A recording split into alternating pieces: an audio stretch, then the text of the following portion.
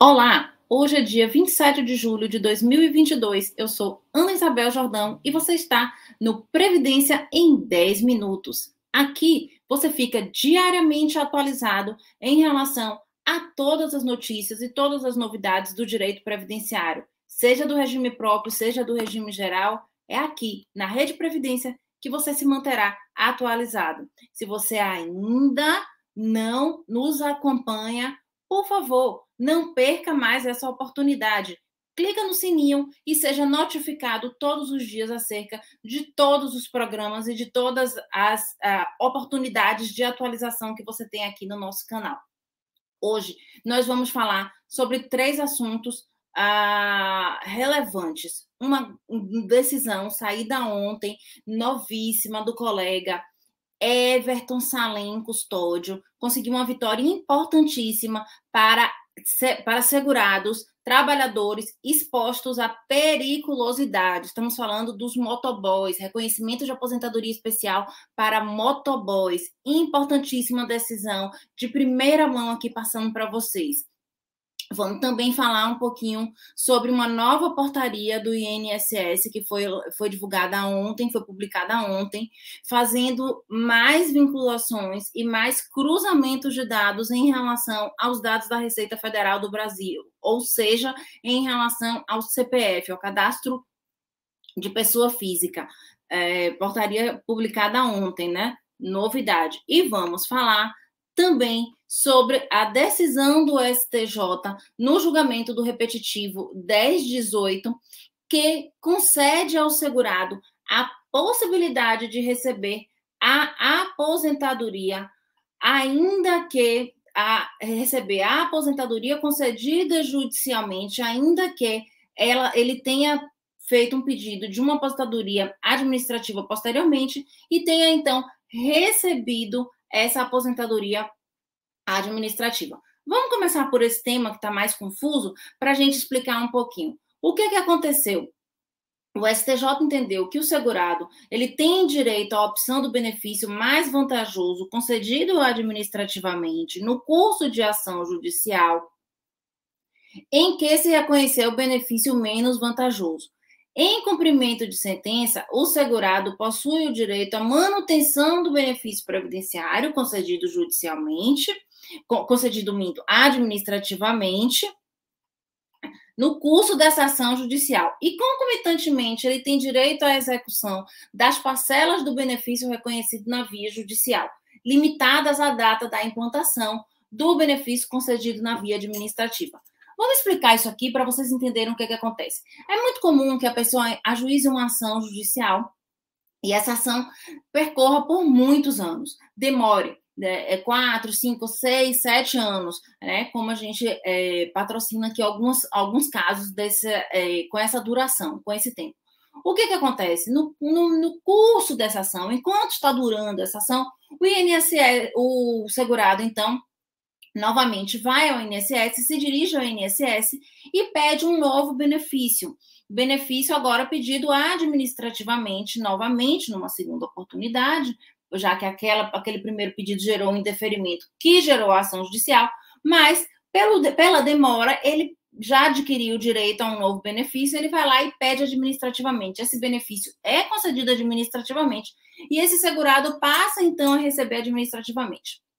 Depois disso, a ação chega ao fim, reconhece-se então o direito do benefício desde aquela primeiro, daquele primeiro pedido, né, daquele primeira data de, de requerimento, ou seja, tem esses atrasados dessa ação que durou 4, 5, 6, 7 anos, e o, o entendimento que existia no momento é que ele não poderia é, fazer jus a essa nova aposentadoria se essa nova aposentadoria fosse mais vantajosa. Ele teria, então, que escolher entre a nova aposentadoria mais vantajosa, essa concedida administrativamente, e abrir mão desses atrasados dessa ação judicial.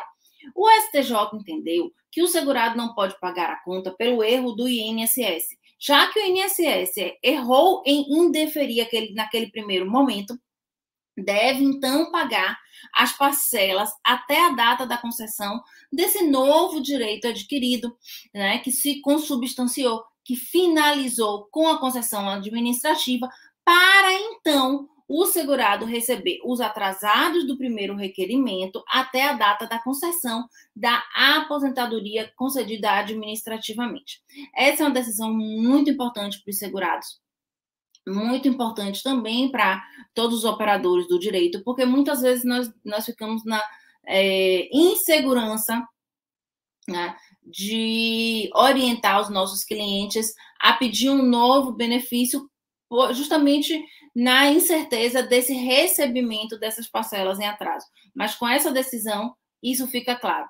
Cabe ainda ressaltar que durante o julgamento foi se levantada a questão da, de, da não configuração da desaposentação, porque nesse caso aqui não há um cômputo das contribuições posteriores à data de aposentação, né? É, e a renúncia daquele primeiro benefício. O que se configura no caso, né, é, conforme o entendimento do relator, é que o indeferimento equivocado no primeiro benefício pelo INSS e a sua concessão judicial não caracteriza a situação vedada pelo STF, que é a desaposentação, que considerou impossível a concessão de duas aposentadorias ao mesmo segurado. No entanto, para Herman Benjamin, ele reconheceu a possibilidade da opção por apenas um dos dois benefícios, diante dessa situação sugêneres que foi de forma indevida provocada pelo INSS.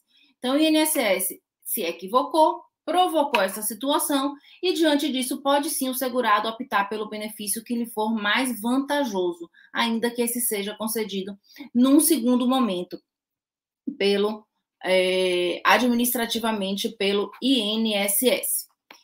Vamos então falar agora um pouquinho aqui sobre a portaria de IRBEM número 1037 de 26 de julho de 2022. Ela institui e disciplina as ações referentes à verificação do cadastro de pessoa física e as novas tipologias incluídas no sistema de verificação de conformidade de folha de pagamento de benefícios e no painel de qualidade de dados do pagamento de benefícios.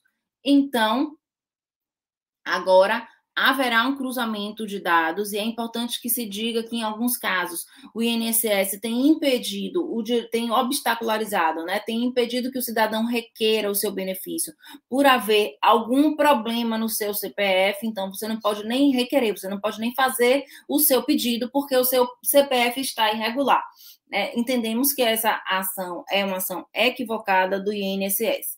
Sobre essa nova portaria, a gente gostaria de chamar a atenção para o artigo 13, que diz o seguinte: caso o beneficiário não regularize a situação do seu CPF, não apresente defesa, ou ainda se a defesa for considerada insuficiente, o benefício poderá ser suspenso pelo motivo 89, que é suspenso pendência base do CPF. Então, caso você tenha alguma pendência no seu CPF, isso pode vir a gerar uma é, suspensão do seu benefício. Nós entendemos que é um dispositivo equivocado, porque você está é, com base numa outra informação, com base num, num, num outro, numa outra sistemática, impedindo o cidadão de receber o seu benefício. E ainda, né, é, essa situação de que muitas vezes ele não pode sequer requerer um benefício por estar com problemas no seu CPF. Então, fica o alerta, é necessário fazer essa conferência antes de fazer o seu requerimento e estar constantemente fazendo essa conferência para evitar suspensões, então, do seu do recebimento do seu benefício. Aqui nós não estamos falando só da situação é, em que há o cancelamento do CPF por conta de um óbito, porque se fosse essa situação, nós entendemos que é ok, não teria problema nenhum, mas não é essa a situação. E por fim, vamos falar aqui do nosso do no, do no, da nossa notícia bombástica. Parabéns ao doutor Everton Salem Custódio. Conseguiu a primeira sentença do Brasil reconhecendo todo o tempo de especial para motoboys. Qual é o grande ponto dessa decisão aqui? É que a gente só conseguia o reconhecimento com a apresentação de PPP a partir de 2014, porque somente a partir de 2014 é que a atividade de motoboy foi reconhecida como uma atividade periculosa. Então, conseguia-se a concessão da, da, da, vamos, o reconhecimento desse tempo depois de 2014 como um tempo especial para a conversão de aposentadoria. Mas é, ontem saiu, depois de quase seis anos de luta do doutor Ever, Everton Salem, ele conseguiu essa decisão importantíssima da turma suplementar do TRF4, que foi o reconhecimento da especialidade de todo o período laborado como motoboy, posto que a atividade de motoboy é sim uma atividade periculosa. Mais uma vitória muito importante para os nossos segurados. Re, o reconhecimento de atividade periculosa como a atividade que é passível de concessão de aposentadoria especial. E, em especial, nesse caso, reconheceu-se todo o período, antes e depois de 2014.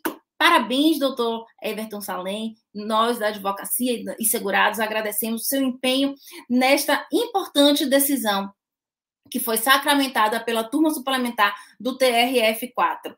Essas são as nossas notícias de hoje. Ficamos aqui e até a próxima quarta-feira, quando nos reencontraremos para falar de mais informações sobre o direito previdenciário.